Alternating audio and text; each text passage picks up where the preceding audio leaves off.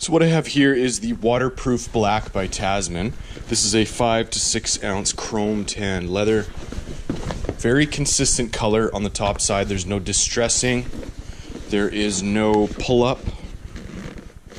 You have a regular temper within this leather, so it is slightly rigid. It's not waxy or oily to the touch on the top side as well. Everything is very much locked into place.